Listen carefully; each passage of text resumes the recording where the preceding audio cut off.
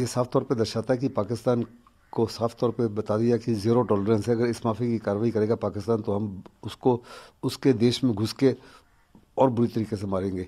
Surgical strike के समय भी हमने उसको दिखाया कि हम उसके देश के अंदर घुस के, उसके घर में घुस के उसको बर्बाद कर सकते हैं। अभी फिर हमने उसको दोबारा दर्शाया कि हिंदुस्तान में हर प्रकार की क्षमता है हर प्रकार की ताकत है। इसके बावजूद कि पाकिस्तान के आर्मी चीफ और एयर चीफ तकरीबन दो दिन पहले ही पूरा टैप किया था और कहते हर प्रकार से हम सुरक्षित हैं। हिंदुस्तान ने दर्शा दिया कि आपका ये झूठा अनुमान है कि आप सुरक्षित हैं। हिंदुस्तान बड़ा पावरफुल है इसके साथ पंगा मत लेना।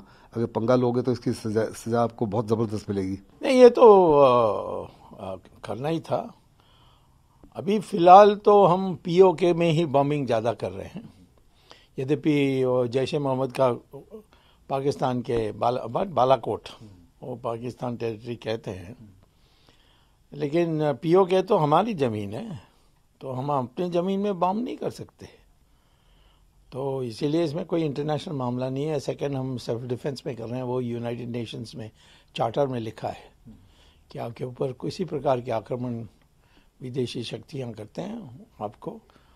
रक्षा, अपने प्रतिरक्षा में सेल्फ डिफेंस में आप जवाब दे